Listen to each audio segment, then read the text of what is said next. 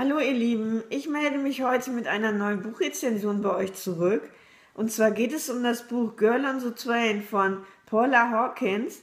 Ist im Bian Ballet Verlag erschienen, kostet 12,99 Euro und hat ähm, 448 Seiten. Und hier vorne steht schon drauf, du kennst sie nicht, aber sie kennt dich. Und ähm, ja, das ist alles ein bisschen geheimnisvoll und etwas verwirrend. Also in diesem Buch geht es um Rachel. Rachel ähm, fährt jeden Tag mit dem Zug und der Zug hält immer an einer bestimmten Stelle und ähm, dort kann sie immer ein Ehepaar beobachten. Und ähm, sie hat auch mal ein paar Häuser weiter gewohnt, als sie noch mit ihrem Mann zusammen war, der sich aber von ihr getrennt hat.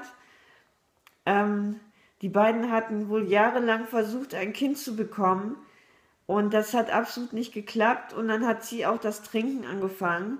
Also man kann schon sagen, dass sie Alkoholikerin ist. Und ähm, ja, sie macht dann halt Beobachtungen, wenn der Zug dort hält. Und erst sieht sie immer nur ein glückliches Ehepaar und dann auf einmal ist die Ehefrau verschwunden. Und ähm, an dem Abend, wo sie verschwunden ist, hat Rachel Beobachtungen gemacht. Sie kann sie bloß nicht mehr richtig zuordnen, weil sie da wieder total betrunken war. Ähm, sie weiß aber sicher, dass diese Vermisste, die Megan heißt, ähm, dort mit einem fremden Mann im Garten stand und der Mann sie auch geküsst hat.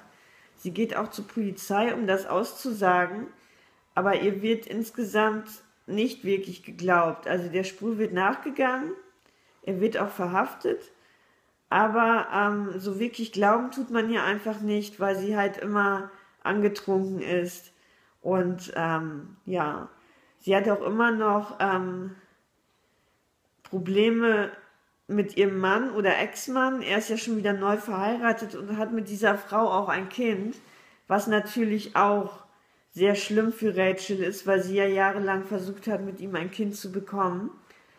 Und ähm, ja, es bleibt eigentlich sehr undurchsichtig. Es ist immer eine gewisse Spannung in dem Buch vorhanden. Ich würde es auch als Thriller bezeichnen. Unten steht Roman, aber ähm, da habe ich, meine ich, schon weniger Thriller-artige Bücher gelesen, so dass ich diesen durchaus als so etwas bezeichnen würde.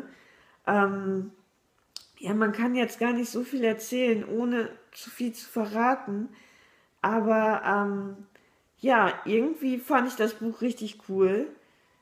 Irgendwie auch nicht. Aber ich ähm, habe dem Buch jetzt auf jeden Fall viereinhalb Sterne gegeben, weil es mich doch richtig packen konnte und ich auch weiterlesen wollte. Und ähm, die Auflösung fand ich auch sehr stimmig. Und ähm, ja, mich hat es einfach begeistern können und ähm, das Buch ist eingeteilt eigentlich in drei Erzählstränge. Immer entweder aus Rachels Sicht, dann gab es noch die Sicht von Megan und die Sicht von Anna. Und Anna oder Anna ist die neue Frau, äh, Frau von Tom, also sozusagen ihre Konkurrentin, der sie auch in gewisser Weise immer noch nachstellt. Und ähm, Tom ist halt ihr Ex-Mann. Und ähm, also die drei Erzählstränge gibt es.